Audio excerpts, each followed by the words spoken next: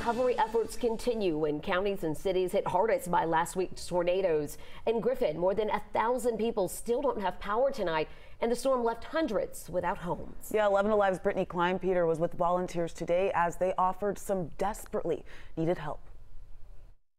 We're out here in a neighborhood just north of downtown Griffin where volunteers continue to show out with food, water, and supplies going door to door. Behind us is actually a group that came all the way from Woodstock, a church group that's been out here cooking out for volunteers as well as residents. You guys hungry? Okay. We got a team together, about 50 people. Came down, we're in three different locations right now um, just to help out. An outpouring of support in Griffin. I have no idea who that guy is but he's climbing a tree right now to clear somebody's yard that he doesn't know who they are. It's just, it feels great. As volunteers from across metro Atlanta distributed supplies just days after a tornado touched down here. You can take pictures of what you can see, but what can't you see? That's what bothers me. It was neighborly love that drew so many of them to help. Why are you here today? For the same reason these great folks all came to Newnan two years ago, coming March, uh, to help us recover from the tornado that hit Newnan. In the days since the storm, big corporations like Home Depot, Chick fil A, and Coca Cola have stepped up to donate food and water, with nearby church groups and nonprofits also offering assistance.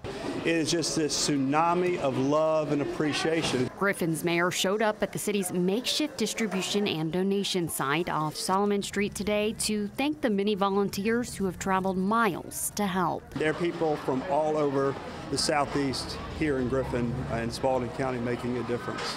Red Cross is also out here. They've set up a shelter at First Methodist Church. They've also set up a food supply there for anyone who needs it. For more details on that and how else you can help out, head on over to our website. In Griffin, Brittany Kleinpeter, 11 Alive News.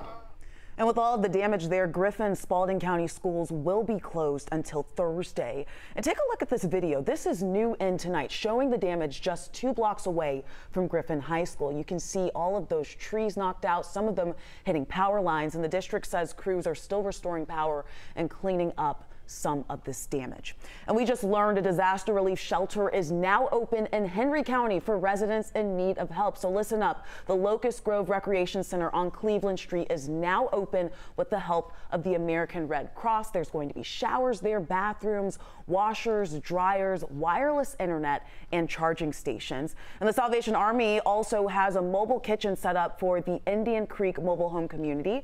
They're providing up to two meals a day for people without power. We have all the information you need at 11alive.com.